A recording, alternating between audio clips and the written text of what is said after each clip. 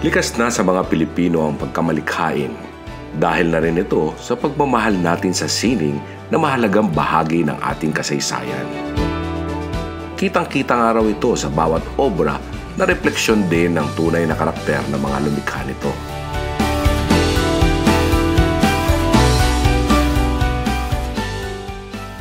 Sa tinaguriang Art Capital of the Philippines, hindi maikukubli ang tunay na diwa ng sining. Kahit saan kalamingon ay mayroong obra na tila pangkaraniwan na lamang sa mga taga rito. Isang bagay na ipinagmamalaki ng mga taga-Angono Rizal. Pero sa dami ng pintor, eskultor at musikero sa Pilipinas, ano nga ba ang meron sa Angono at ito ang binansagang kabisera ng sining ng ating bansa?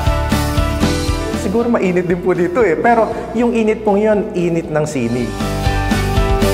Siguro eh, it parang ano yan eh, a chain reaction of uh, events, no? Nang uh, si Juan Senson, siya nagsimula noong uh, mga kultura at tradisyon ng bayan ng Angono na may musika, may teatro, merong mga crafts na uh, background na naging uh, mayamang uh, pundasyon ng mga artist. Dalawa yan eh, si Lucio, uh, national artist in music. Yan. Si Botong naman, national artist in painting. Isang dalubhasa sa pagpipinta ang anak ng Angono na si Carlos Botong Francisco sa kanyang mga obra na nagbigay ng inspirasyon sa maraming artists. Hindi nakapagtataka kung bakit kinilala siyang National Artist for Visual Arts. Ang mga early works ni Botong ay uh, the likes of images of Amor Solo. Pero noong siya ay makipagtambalan na kay Edades tsaka kay Galo Ocampo, nagbago yung kanilang tema.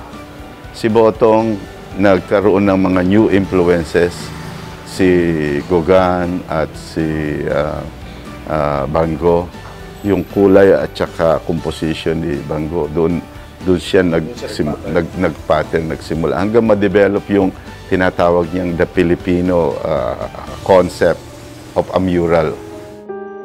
Kilala si Botong Francisco sa kanyang pagpipinta ng napakalalim at napakakulay na kasaysayan ng Pilipinas na siyang naging tulay upang siya ay makilala hindi lamang sa Angono kundi sa buong bansa ang mga lines ni Botong, very fluid. Pag sinabi mong fluid, nakita ko yan mag-drawing na. Ang, ang lines niya tuloy-tuloy. Pagdating sa dulo, dulo lang i-stop. Hindi, meron bang mag-drawing ganun eh. Siya pag ginanon niya yan, dire-diretso yan. Hanggang sa paa mo. Ang mga trabaho ni Botong, uh, halos igina, iginalang ng mga taga rito sa Angono. Halos kahit na isang trabahong maliit lang, uh, iniingatan yon. Nagsimula kasi kaming mga taga-Angono, dahil maliit ang bayan ng Angono, at uh, kaming handful of artists din. Nagsimula kaming we compete with each other. Ang dami namin, parang ang hirap, dami natin, wala mapasin. Kailangan uh, maging magaling ka. Yun nga ang isang mabigat eh, may standard ka eh, si Botong Francisco eh. Makaabot-abot ka man lang eh, okay na.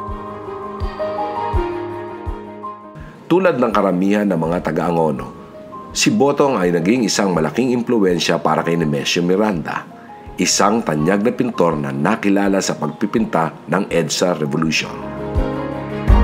Ano yung panahong inabutan ko, ang EDSA Revolution. So, yan naman yung naranasan ko, yan yung uh, inilikha ko. Gumawa ko ng series niyan for the whole year of 1986. Kasi I was there, na-experience ko. So I put myself inside the EDSA revolution and uh, idinama ko yung mga nangyari at kaya ako nakagawa ng mural na yan yung nasa EDSA strike. Hindi makapasok yung mga tangke because nakaharang yung tao.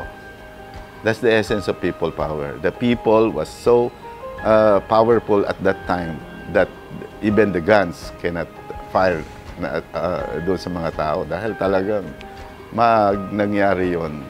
I think uh, one thing that Marcos did was talagang huwag ituloy yung pag uh, ano na dahil nakita niya yon na maraming mamamatay and he will not allow it. Ang focal figure doon eh yung sundalo at mga tao na nag ah, nasa nasa isang eksena ng ah, hinaharang yung tangke.